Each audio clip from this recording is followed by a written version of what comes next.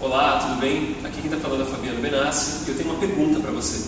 Você desperdiça a sua energia, você coloca a sua energia naquilo que é transitório ou você foca naquilo que é permanente? Hoje a gente vai falar sobre isso. Muitas vezes colocamos a nossa atenção e a nossa energia naquilo que é transitório, naquilo que vai acabar de uma certa forma. E, pô, legal, Fabiano, só que a gente um dia vai morrer, né? A gente, as coisas vão mudar, né?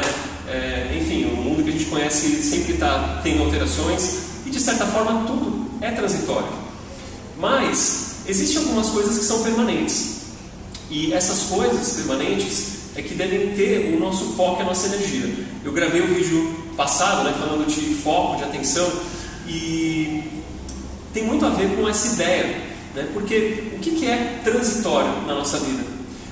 Um sentimento é transitório, uma emoção é transitória, uma condição é transitória, uh, um objeto é transitório, uma é, situação é transitória, enfim, né? uma história, né? É, dependendo do contexto, ela, é, pode se tornar permanente, né? ela pode ser eternizada através de palavras, de livros, ela pode ser contada através da história e ela se torna algo permanente. É, ou aquilo que vem de dentro de você como a sua verdadeira força. A gente chama no yoga essa verdadeira força, eu já falei no vídeo passado, como sua dharma, né? Aquela, aquilo que te sustenta, aquilo que te dá sustentação, né? sua verdadeira vocação para você exercer no mundo, né? seja para trabalho, seja para sua sua vida, né? principalmente. Então isso é permanente. Só que às vezes a gente dá atenção para o que é transitório. E, e quando você escolhe o que é transitório, muitas vezes você está escolhendo também as coisas que você depende. Então quando você depende de alguém ou quando você depende de uma situação, quando você depende de um emprego, de, de dinheiro, né? quando você fica dependente, você não tem escolha. Você depende daquilo. Quando você depende dos seus pais, é quando você depende uh, de uma sensação física, né? então o sexo pode provocar isso, a vontade de comer pode provocar isso, você fica dependente, você não tem escolha. Você não é uma pessoa que decide. Você é uma pessoa que vai escolher as coisas, mas orientada por aquilo, né? olhando um pouquinho mais profundo agora. Imagina que você tem um pânico, pânico de pegar, ir para lugares altos, né? pânicos de subida. Eu conheço uma pessoa assim. Né? E um dia, uma essa pessoa chegou para mim e falou assim: Olha, estava indo para um lugar distante. Uh, e ela falou assim para mim: Olha, mas cuidado lá para não ter subida. Eu dei uma resposta um pouco grossa e falei assim: Olha, eu não tenho medo de subida, você tem medo de subida. Por quê? Porque a gente acaba fixando a nossa atenção e dependendo daquilo. Só que aquilo uma hora acaba. Né? Vício uma hora acaba. Quem fuma, muitas vezes, não sei se você fuma do outro lado, mas quem fuma, é, você vai fumar, o cigarro vai acabar, vai, aquilo é transitório. Uma hora a sensação vai voltar. E esse vício também é transitório. Você pode tornar a sua força de vontade maior para fazer com que o seu autocontrole seja permanente. Então, o que é permanente e o que é transitório na sua vida? Você está colocando atenção naquilo que é transitório?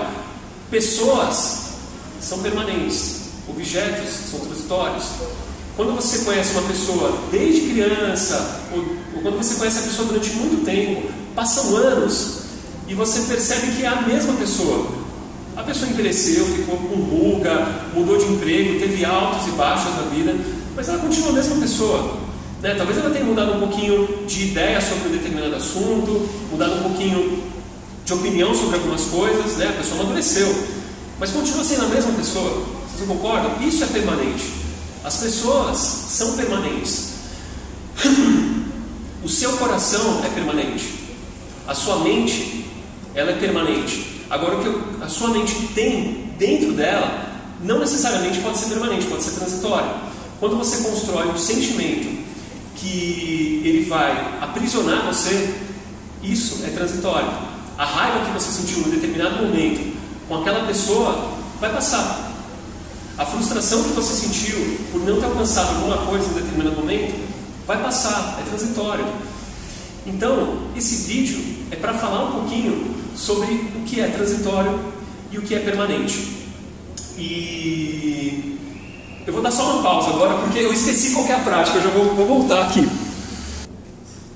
Bom, gente, como esse vídeo não tem edição, eu tinha pensado na prática para esse vídeo e acabei esquecendo. Então eu gostaria de dar uma prática para você perceber o que, que é dentro de você, né? não, não sempre dentro. Né? A ideia de trabalhar com o controle emocional não é fora, é dentro. Tá? É você, a relação com você mesmo que vai mudar. Então, eu quero que você faça um exercício simples para você perceber as coisas que são permanentes e as coisas que são transitórias. E esse exercício é parecido com uma técnica de meditação, porque ele vai usar a sua capacidade, o seu controle de atenção, de ficar atento.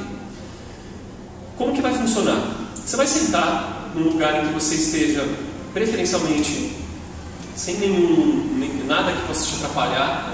Né? Se tiver um pouquinho de barulho, alguma coisa, não tem problema.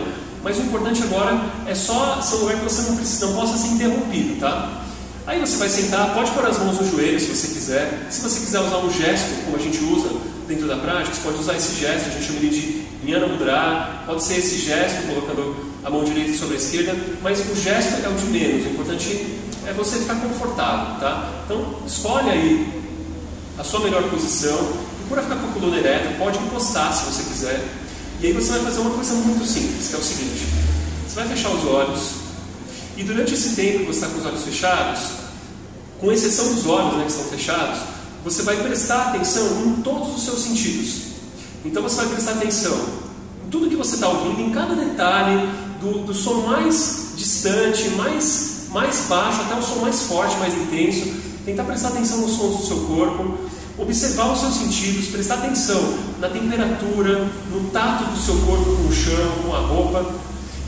Prestar atenção na sua respiração, no ar entrando, saindo, nesse tato do, do ar, né, esse tato interno do ar passando. Prestar atenção no gosto dentro da sua boca. Então, observar todos os sentidos. Você vai fazer isso durante um tempo, entre um a dois minutos. E aí depois, você vai mudar. Depois que passar mais ou menos um ou dois minutos, não precisa contar no relógio, tá? Mas mais ou menos esse tempo, você vai trocar a sua atenção e não vai, você vai ignorar todos os sentidos, não vai prestar atenção em nenhum dos sentidos e vai observar apenas o silêncio. Você não vai prestar atenção no barulho. Não quer dizer que só porque tem um barulho externo você não pode prestar no seu silêncio interno. Pode, eu vou depois dar uma prática, vou falar sobre yoga no trânsito nos próximos vídeos, no próximo vídeo, né? E eu vou falar sobre silêncio. Mas agora, o que eu quero que você faça é, depois que você prestou atenção em todos os sentidos, observando por um tempo, volta a atenção para dentro, e ignora tudo isso e volta a atenção para dentro. E presta atenção durante um tempo, no silêncio. O silêncio, ele sempre está lá. O silêncio é permanente. Talvez você não esteja percebendo o silêncio porque o silêncio, ele é algo sutil. Ele depende de você diminuir as suas oscilações mentais e, consequentemente, o seu barulho, né, para que você perceba o silêncio, mas ele está sempre lá. Então, é por isso que eu quero que você se concentre no silêncio. Ele é permanente. E não é para você fazer silêncio, você não faz silêncio, você presta atenção no silêncio. Então, o exercício é observa todos os sentidos, depois de um tempo, observa o silêncio.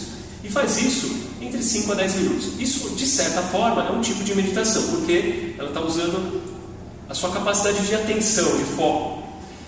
Depois que você fizer isso, aí se você estiver fazendo antes de dormir, que é um horário bem legal para fazer, né? você pode deitar, dormir, né? ou você pode fazer um momento de pausa do seu dia junto com aquelas inspirações que eu dei antes, né, aquela inspiração com ritmo de ontem, falando da raiva, onde você inspira e solta o ar devagar de ontem. Né? No vídeo anterior, depende do dia que você está vendo esse vídeo, no vídeo anterior, então inspira, solta o ar devagar. Você pode fazer essa respiração antes se você quiser, é, mas faça esse exercício para você é, se aquietar. E esse aquietamento ajuda a gente a perceber que é permanente e não que é transitório. Ok? Então essa é, a, é, o vídeo de hoje, essa é a prática de hoje. Se você gostou, comenta aqui embaixo. Se você ainda não se inscreveu no canal, se você ainda não se inscreveu no canal, se inscreve. Não esquece de marcar lá para receber as notificações, para você receber quando eu publicar um, vídeo, tá? Uh, compartilha se você acha que isso vai ser legal para outras pessoas e curte também aqui, se você não gostou também dá uma curtida para eu saber uh, se isso está te ajudando de alguma forma. A gente se vê no próximo vídeo de amanhã. Muito obrigado. Namastê.